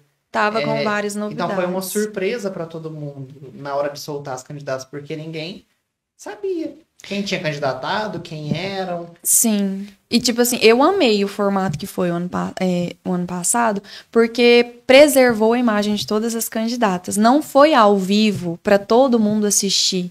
Porque, tipo assim, a gente tá ali é, e a gente vai ser preparada, vai ser ensinada, vai ter todo um processo ali durante os meses até a FENACEM de tudo que vai acontecer, de tudo que a gente tem que fazer e aprender. Então, no dia da seletiva, ninguém tá preparado, ninguém sabe desfilar, ninguém tem postura, ninguém sabe falar, ninguém sabe fazer nada do jeito que faz no dia do concurso. Tem toda uma preparação árdua ali até chegar lá. Então, preservou muito a imagem. Tanto, a preservação foi tão grande que cada menina tinha um horário Tipo, um horário específico para uma não topar com a outra. E dessa forma, quem candidatou e não passou, ninguém sabe que você tentou e não passou. Então não precisa ter vergonha, não precisa ter receio. E ano que vem você tenta de novo. Foi, eu achei extraordinário o formato que eles fizeram. Tanto que eu só vi as meninas do último horário. É, eram o quê? Umas quatro meninas? Cinco no máximo. Eu só encontrei com essas. Que e teve. as, as que ficariam ali pra descobrir qual, qual- quais eram as três. É, sim, essas ainda tava, na verdade, fazendo a entrevista para para seletiva final. Mas foi, for- fomos as únicas que se encontraram ali. As outras, se me perguntar quem candidatou, não eu não sei quem candidatou e não passou. Eu achei isso muito bacana de preservar a nossa E imagem. aí, nesse processo, você veio escolhida aí como uma das três candidatas. Como uma das três candidatas, Junto com a Lohane e com a Grazi. junto com a Lolo e com a Grazi. Como que foi aí a sensação de ver seus sonhos se realizar? Então, eu já tinha realizado, né? Naquele momento eu já tinha realizado o meu sonho. Inclusive, a Camila preparou uma surpresa, né? Que foi uma caixa do Pensando Bem Presentes, uma caixa surpresa. Gente, eles foram tão, tão espertinhos, eles não tiveram dó da gente, né? Que aí a seletiva aconteceu e eles falaram meio que assim: podem ir pra casa que amanhã a gente entra em contato. Na verdade, acho que eles nem falaram amanhã, foi tipo assim: é, depois a gente entra em contato pra falar o resultado. Eu sei que foi um negócio assim de depois. Tipo assim, vai pra sua casa Esquece. e dorme. E eu, É. aham, vou dormir. vou. Tá bom, então. E aí, do nada, eram umas 10 horas da noite. A Camila tinha ido lá em casa, né? Só que eu não tava em casa. Aí ela me ligou e tá assim, Clarinha, onde você tá? Eu falei onde eu tava. E aí ela apareceu lá com aquela caixa. E a hora que abriu, tava lá, que eu era uma das candidatas, a Rainha Fenacem, e aquela coisa toda maravilhosa. A emoção, tem o vídeo, né, inclusive, e aí eu desabei, né, emoção tomou conta, tava muito feliz. Mas assim, é muito inexplicável. É muito bom relembrar isso tudo, inclusive. Mas naquele momento, ser uma das três candidatas já é a realização de um sonho. Até porque teve muitas inscrições, foram muitas meninas. Tanto que eles custaram a tirar as três, que as meninas eram muito lindas, gente. Que menina bonita, sinceramente. Tanto que foi tão difícil que eles tiveram que fazer um top 6 para conseguir escolher as três, porque sem o top 6 para ajudar um pouquinho, eles não conseguiriam escolher. Aí ficou a gente. Que honra, hein? Tá aí no meio das três. Sim, nossa, com certeza. E no outro, era segredo, né? A gente não podia contar pra ninguém. E no outro dia, cedinho, sete horas da manhã, tinha que estar todo mundo no salão da Cris pra fazer toda uma produção, toda uma coisa, porque a gen- eles não iam lançar a gente pra mídia sem todo um cuidado, uma preparação, uma produção, uma cautela ali. Eu lembro muito desse dia porque eu não tava em São Gotardo, era um feriado. Tava num casamento em São Paulo. Né? Aham. Altinho. e soltou os vídeos. Eu, eu parei o que eu tava fazendo no casamento pra, pra ir Pra ver assistir. quem eram as três candidatas da Rainha da Fenacem. Mas eu não fui segredo. Tipo assim, a Lolo e a Grazi, igual a Grazi mesmo fala. Só a mãe, a única pessoa do mundo que sabia era a mãe dela. Ela não tinha contado pra ninguém, não era algo que ela falava. A Lolo também era tipo mínimas pessoas, só os íntimos ali. Já eu, eu falava nas redes sociais, eu postava no Instagram, eu Que falava, queria, né? eu deixava claro há muitos anos, tanto que no ano da Ah, eu cheguei a te falar isso na academia. Sim. Se você tinha candidatado. Sim, eu te porque- contei a história toda, né? Eu acho. Não, eu já Não, falei que eu tinha não. tentado Você antes só. disfarçou, você falou assim. Ah, vamos ver. Foi Você não mesmo, foi que- mesmo, foi mesmo. Que, que ia. Verdade, BH, verdade. Eu não falei que eu ia. É. Até porque realmente eu tava com aquela ferida ali, eu nem tinha certeza se eu ia ou não. Aí, no ano da Carol, eu, des- eu, eu desfilei na arena da FENACEM como, com os meus títulos. No ano da Carol, representando São Gotardo. E aí, é, naquele ano, naquela vez que eu desfilei. Peraí, calma, deu, deu um branco. A sensação que você tá falando, não tô entendendo.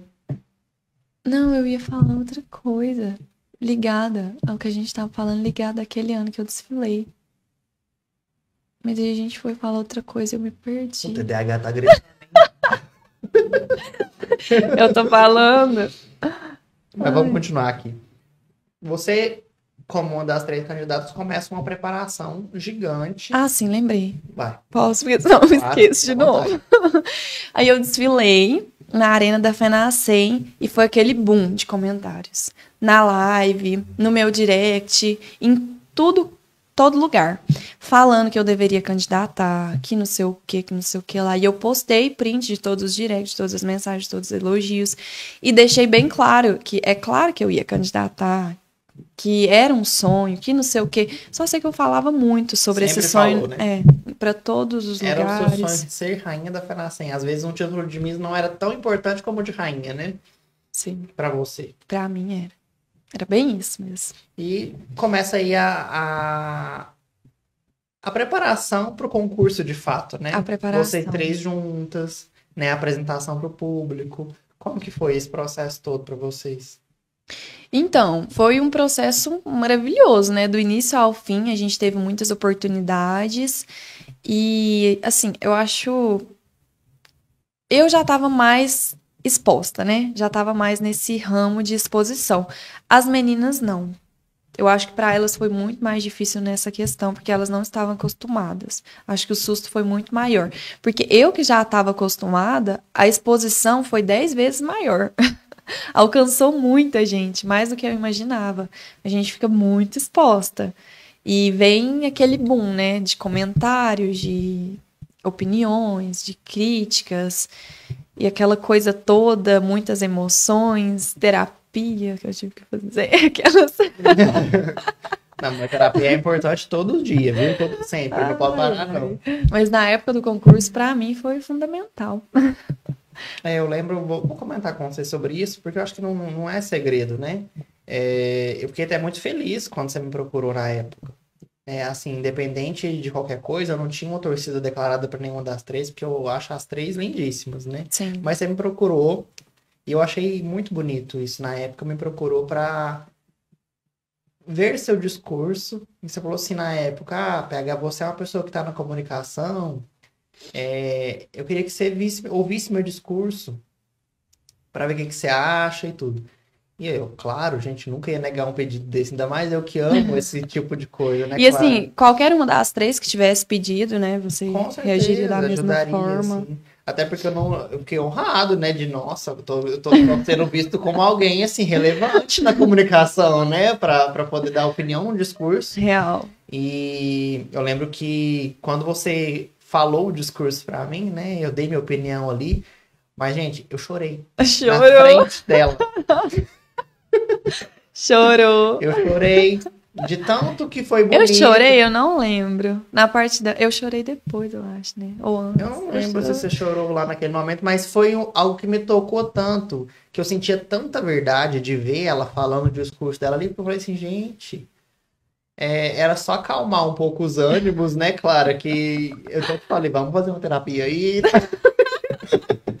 que se Pior. fosse pra ser seu, Deus ia continuar encaminhando, né? Sim. Mas foi muito lindo. Eu quis falar sobre isso porque é, era realmente o seu sonho e isso era tão evidente até mesmo no seu discurso. Pior. Né? Porque eu acho que isso faz a diferença, né? A, a menina querer de verdade aquilo ali, ser palavras dela, no sentido assim de.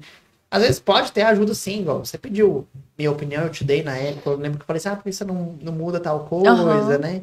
É, Mas tinha verdade ali. Era você, independente dos ajustes e tudo. E isso fez muita diferença, eu acho, né? No final das contas. Eu também acho. Porque eu acho que quando é um discurso que vem do coração, até a, a emoção é Ah, diferente. que você falou da sua mãe, colocava a mão no peito. né? Ah, eu gosto demais. Eu dei uma É, engasgada no dia, quase. É, a emoção fala alto. né? Aham, fala. É um perigo isso aí. Tem que É, tomar Tem cuidado. que ter um controle emocional grande, porque Aham. às vezes você não vai estar sabendo saber como que, vai ser ali na hora mesmo, né? Sim. Mas Deus encaminha. Deus E- encaminha. E quando a, encaminha. igual você falou, foi, tava sendo leve no dia, né? Você Tava. tava, você tava flutuando ali mesmo. Né? A Sim. passarela, tudo. E assim, quem a gente. no- o dia mesmo foi perfeito, né? A gente foi pro salão da Cris, entrou lá às 7 horas da manhã e ficou confinada até 8 horas, 8 e meia da noite. Sem celular. Teve um, aham, teve um dia de princesas lá, com banheira, massagem, comida e um banquete lá com tudo. E faz cabelo, e faz maquiagem, faz isso, faz aquilo, e faz fotos. E recebendo buquês de flores, e flores de não sei quem, não sei o que, Ai, de gente, mais não que sei o. quem lá e aquela coisa toda foi assim, maravilhoso. Uma coisa que vai ficar pro resto da vida. A equipe do Salão da Cris também impecável sempre. É... E assim, aquele dia, eu... nossa, aquele foi um, com certeza, o dia do concurso foi um dos, dos mais sensacionais. E quem estava lá reparou que eu tava com uma caixinha preta. Eu passei o dia inteiro, das sete da manhã até a noite, com uma caixinha preta. E eu não deixava ela jogada, eu não deixava ela em lugar nenhum. Às vezes eu ia fazer o cabelo e ela tava numa mesa, eu voltava lá na mesa, pegava e levava comigo para fazer o cabelo. Aí, é, dentro dessa caixinha preta, eu tinha algumas coisas que para mim era muito importante. Tipo, eu tinha uma medalha do anjo da guarda que a minha avó me deu antes de falecer, porque ela era muito de tipo, o seu anjo da guarda é é tudo, Clara. É o seu anjinho da guarda, ele que te protege, ele que te guia. E ela era muito de fazer as minhas orações à noite. Tanto ela quanto minha mãe, antes de dormir. É... Hoje em dia, com 22, minha mãe não, não faz essa oração em mim antes de dormir, não. Mas ela fazia até um tempinho atrás.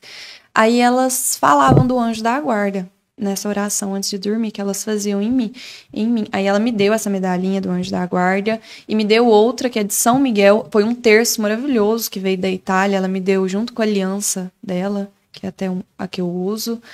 É, antes de falecer. E aí, junto na caixinha, tinha um tercinho, que por coincidência era azul, que a Camila, ela me procurou na época do concurso e falou: Claro, eu preciso muito te ver porque eu tenho um negócio para te entregar, porque eu preciso te presentear, eu quero muito te presentear com um tercinho que me acompanhou em todas as minhas cirurgias até hoje. E eu fiquei tipo. Quem? A Camila. É, a Camila, ela. Não é a Camila do concurso. É, ela é outra pessoa. Explica, senão o pessoal vai achar que. ela é outra pessoa. Eu conheci ela na loja que eu trabalhei, na Lírios, né? No caso, eu conheci ela lá como cliente, a gente virou amiga. É... E aí, do nada, né, ela me procura. Era a cor da sua torcida. É, e aí o tercinho que ela usava a vida toda, que acompanhou ela em todas as cirurgias, em todos os momentos difíceis, para ela era importante me dar para me acompanhar no dia do concurso. E era azul o tercinho. E aquilo ali eu arrepiei na hora, eu chorei. E aí, quando ela foi me entregar pessoalmente, a gente topou em um local para ela me entregar, a gente chorou junta, e a coisa toda.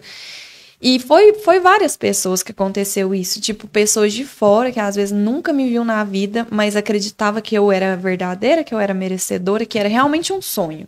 Que, era muito evidente. E que eu merecia. Eu ouvi muitos comentários assim de que é, você queria muito, né? Então, acho que pelo, pelo que eu, você foi contando aqui no, no episódio, acho que você sempre se dedica muito. Né? Foi assim no Miss Missão Gotardo. E eu sou muito perfeccionista e se cobra muito também. Então, você fez por merecer. Você buscou atrás e era seu grande sonho, né? Não sei se era das meninas e tudo, mas você queria muito aquilo ali, né? E quando as coisas são para ser, Clara, não tem quem tira. Pior. Acontece. Acontece. Naturalmente, como se diz. Verdade. Depois, com, com o título, assim, o seu vídeo de recebendo o título é emocionante, né? É, emocionada de verdade. Eu não acreditava, sabe? Tipo, demorou um pouquinho para cair a ficha. É. A hora que falou meu nome, eu ainda tava meio aérea. depois que passa, né? É, depois eu que lembro passa. que Deus parabéns lá e eu falei assim, relaxa, mulher. Nossa é, senhora. Mas aí eu falando, dentro da caixinha também tinha uma menina da minha sala, minha amiga Sabrina. Ela foi pra Aparecida do Norte. E aí, do nada também, claro, eu tô levando uma lembrancinha daqui, abençoada aqui em Nossa Senhora Aparecida. Você é católica? Em Aparecida do Norte, quer dizer? Sou, sou católica. E tô levando para você para te abençoar no dia do seu concurso. Já foi outra. Mas teve vários, assim, tipo assim, de gente que nem me conhecia e entrou em contato. Fato, né? uhum. né? A melhor parte do concurso é, é, as pessoas mesmo, aquele carinho, os contatos que a gente faz. É único. E na caixinha também tinha um, uma medalha de. É, esqueci agora, aquela medalha protetora Seu. Aquela é medalha, medalha protetora. São Miguel? Não. Aquela medalha milagrosa, não é? São Bento. Acho que é São Bento. Pega lá no fundo São Bento. Acho que é São É. Bento mesmo. É aquela da Cruz Sagrada Seja Minha Luz? É São Bento. São Bento. É, o TDAH tá gritando, socorro. É a Natasha que me deu. Foi Rainha Fenacem, né? Ela super me apoiou. No ano dela, a gente trabalhava na mesma loja. E como era meu sonho, e a Natasha tinha passado e estava entre as três candidatas, nossa, eu me sentia a candidata. Eu vivia, ali. acompanhei, eu vivia, vibrava, eu torcia demais. E esses dias para trás até apareceu umas lembranças e eu cheguei a mostrar para alguém. Ah, eu cheguei a mostrar para o pessoal. Nós estávamos lá no Carmo, lá no Enlace. Cheguei a mostrar para Camila, para Lolo e para Grazi que eu fazia campanha para para Natasha, tipo, postando a torcida e tal. Esse E carinho do, das pessoas é, é algo que marca muito. né? aham, Depois que você ganhou, continuou, aumentou? Como foi? continuou. Continuou até das pessoas me parar na rua. Às vezes pede até mesmo uma foto, mesmo tendo passado, principalmente se for criança. Graças. As crianças ficam deslumbradas. Aí a Natasha que me deu essa medalha e me ajudou muito. Me, no que eu, tipo, que eu te procurei, a mesma coisa que eu te procurei, eu procurei ela também. E ela me ajudou. Aí quando ela me deu essa medalha, ela chorou, eu chorei, foi único também. Gratidão mil. E aí eu- essa caixinha pra mim era muito importante, ela precisava estar comigo o dia inteiro. Comigo Carregou junto. com ela a sua Carreguei. proteção, né? De Sim. todas as pessoas. E aí, eu tô assim, gente, eu passei o dia, o dia inteiro com essa caixinha, eu preciso dela, principalmente na hora do, do concurso. Aí eu colei por dentro do vestido com durex. A caixinha inteira? Os- o que tava dentro. Os terços, Tava tudo com você, então. a medalha de São Bento. Tudo dentro do vestido colado. Olha só, Que- que legal. A fé, né, Clara? A fé. É. Mas assim, em nenhum momento minha- nas minhas orações eu coloquei, tipo assim, principalmente no dia do concurso, eu rezei muito, mas sempre falando: Deus, me dá tranquilidade, me dá sabedoria, me ilumina, toma conta do meu corpo, é, toma você o meu corpo para fazer o que eu tenho que fazer aqui, só me guia. Hora nenhuma eu falava: me faz rainha Fenacem, me faz ganhar. Porque ali eu já tinha realizado um sonho desde o início. Eu só precisava fazer o meu papel com excelência para fazer bonito, né? Tinha muita gente lá torcendo por mim que eu precisava fazer bonito e concretizar de vez esse sonho. Hum, Então foi assim, minhas orações sempre foi me ilumina, me dá sabedoria, É, me foi ajuda. muito bem, né? Em todas as etapas. É, eu lembro que eu fiz a live, né? No, no Instagram. Sim. Transmitindo e foi uma live de muito sucesso. Aham. O pessoal gostou mesmo de, de acompanhar e tudo. E eu não vi tudo, porque eu tava trabalhando na FENACEM também, né? Mas o pessoal falando da, da, da beleza, da leveza, né? Que, com que vocês estavam desfilando. É, Acho que o que mais me marca, assim, de lembrar mesmo, é a, a- a- parece que você tava flutuando na passarela. Os- o que eu mais escutei foi que eu tava muito tranquila, muito leve, que eu parecia estar flutuando. E eu tava tão anestesiada que eu não lembro disso. Tipo assim, eu sentia que eu tava muito nervosa, que eu tava com a emoção à flor da pele. Então, por isso que eu falo que eu me senti muito abraçada por alguma coisa naquele dia. Porque mesmo com com a emoção à flor da pele, tudo saiu melhor que encomenda, sabe? E o título veio, E né? o título veio. Que bom. E assim, olhando pra trás, minha decepção quando eu não passei, na outra vez que eu tinha me candidatado, foi muito grande. Fez uma ferida muito profunda. E aí eu olho pra trás e penso, é porque não era pra ser. Tinha o momento certo, né? Era pra ser agora. 2023. Não tem outra explicação. E, e você mais madura, mais mais, madura, já tinha passado pelo Missão Gotardo, que eu não fiquei em primeiro e fiquei extremamente grata com o título que eu ganhei. Você acha que ter passado por esses concursos te ajudou no, no concurso da, de Rainha Penacem? Em relação à experiência, a, a já ter desfilado. Então, pelo fato das três ter tido a mesma preparação sem nenhum por cento de diferença, eu acho que não, porque nós estava tudo ali, na mesma linha, não tinha nenhuma que foi preparada mais do que a outra. Uhum. Então eu acho que as três estavam 100% igual. Ô, Clara, é, e o que, que mudou na sua vida depois do concurso? Então, principalmente a visibilidade, né? Nossa, a visibilidade foi grande, viu? Nossa, chega a ser assustador.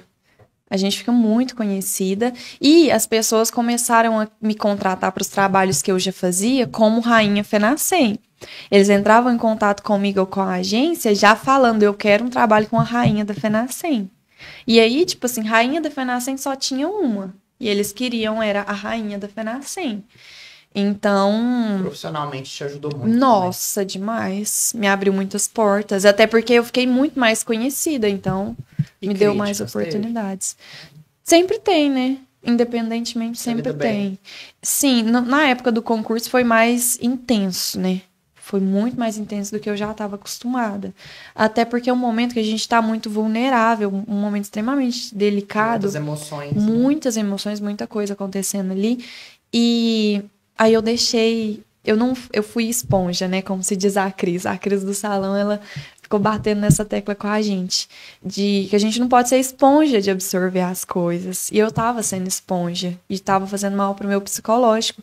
E eu não sou assim, eu não era assim, e durante o concurso estava acontecendo. Foi até a parte que eu falei com você e procurei psicólogo e fiz terapia, aquelas mas é, é delicado mesmo.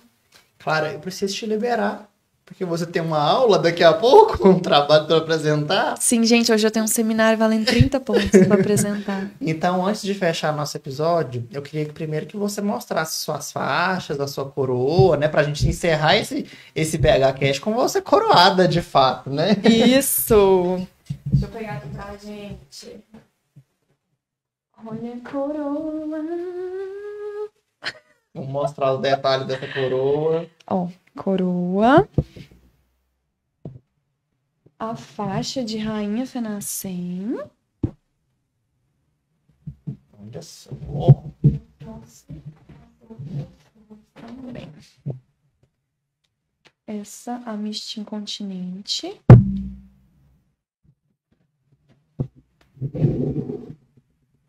Aqui tem até a bandeira de São Gotardo. Tem essa Miss Beleza São Gotardo 2022. É, Elas são lindas. Lindas, lindas.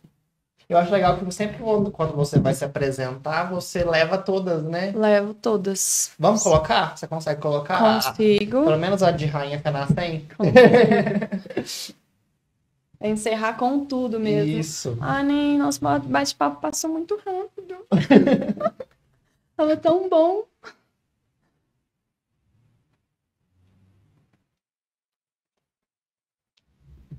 Minha coroa. E a coroa, que eu Ela, com ela consegue um ficar grampinho. agora? Não. Mas a gente Eu só- equilibra. Ó, qualquer coisa você, você, de- você deixa as coroa cair, não, senão é... levanta a cabeça, princesa, senão Não, a coroa coroa cai. Ai, esse bordão. E ele é real, viu? Tem que... Ela é pesada, né? Aham. Quem vê não pensa assim. né? Não, ela faz uns cortes na minha cabeça. Será que eu Sério? podia? Tudo bem. Já falei. Ai, ai. Tá reta? Tá. Certeza. Mas você quer ficar com ela? Vai ficar desconfortável pra você, não? Vai. Eu preciso ficar assim, ó. Imóvel. Não, vai. Tá equilíbrio. Ô, Clara, vamos fechar o podcast com, você aconselhando nossas três candidatas aí, né? A Bruna, Yasmin e a Kimberly, né? Que são as candidatas de 2023. O que, que você poderia falar pra elas aí? Bom, é, a mensagem que eu vou deixar para as nossas novas candidatas desse ano é que eu espero do fundo do meu coração que seja um sonho das três, porque se for um sonho, tá sendo tudo muito leve. E é um- um- um- uma etapa delicada, já é difícil por si só, tem muitos desafios, muitas coisas novas. Então, assim, no meu caso, que já teve desafios e era um sonho, imagina se não fosse. Eu teria surtado, né? Então, espero de coração que seja um sonho, algo totalmente verdadeiro e que elas aproveitem cada fase desse processo, desde o início, que saibam que só de ser uma das três candidatas já são ganhadoras e que principalmente aproveitem muito as pessoas ao redor, porque ao meu ver, gente, o dia da carreata, o dia do concurso, a torcida, o carinho que eu recebi das pessoas é algo que fica, que tá até hoje.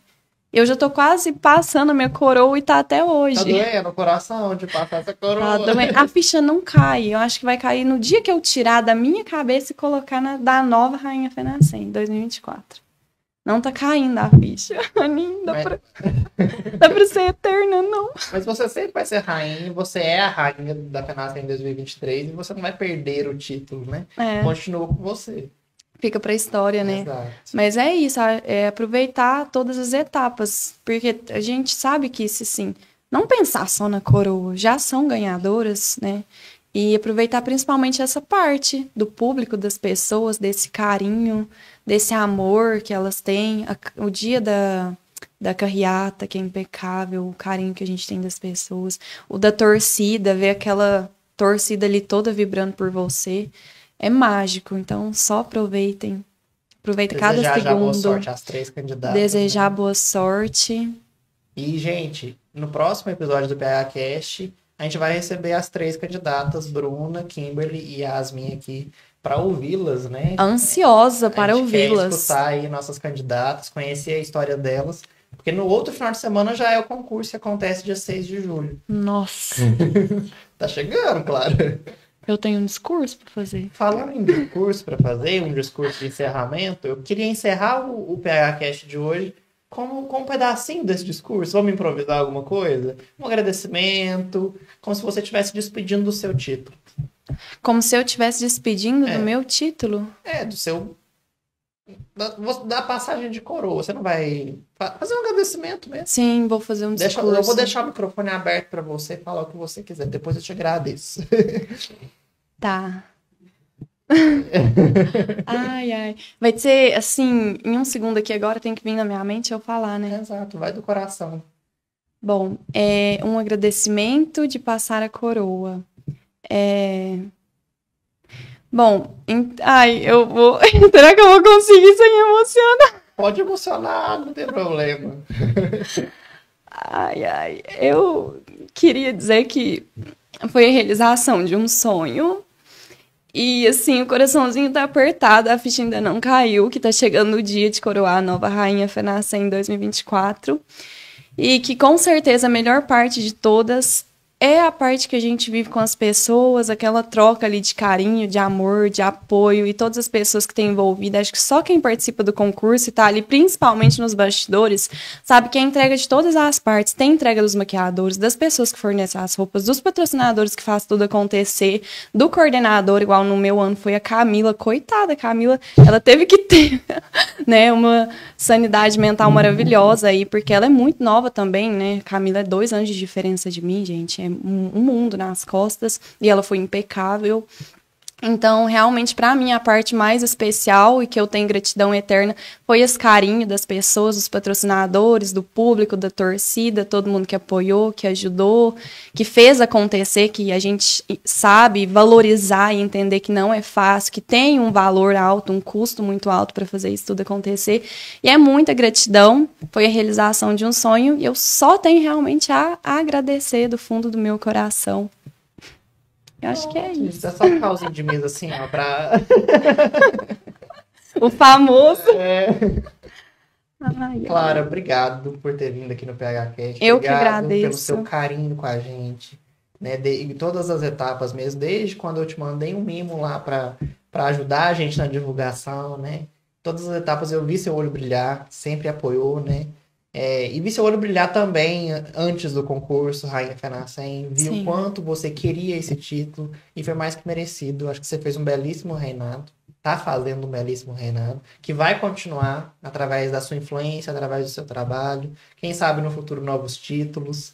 A gente nunca gosta É, não dá pra saber. nunca digo né? nunca. Eu Acho que você tem uma carreira brilhante aí pela frente, mas muito obrigado mesmo pelo seu tempo, por vir aqui, por contar a sua história. E sucesso em todas, em todos, em todas as etapas da sua vida. Eu que agradeço, só agradecer, PH. Sucesso, então. Obrigadão. não, não balança demais, vamos nessa coroa. Verdade. Pessoal, chegamos aí ao fim de mais um episódio do PHCast. Lembrando que o próximo episódio vai ser falando sobre as candidatas à Rainha Fenacem em 2024. Como eu falei para vocês, vamos receber aqui Bruna, Kimberly e a Yasmin para falar sobre é, o concurso desse ano e conhecer a história delas. Vou pedir mais uma vez, sigam nossas redes sociais oficiais, arroba phcast.oficial e arroba phbabos e comentem bastante aí nos nossos vídeos e conteúdos. Um beijão e até o próximo episódio.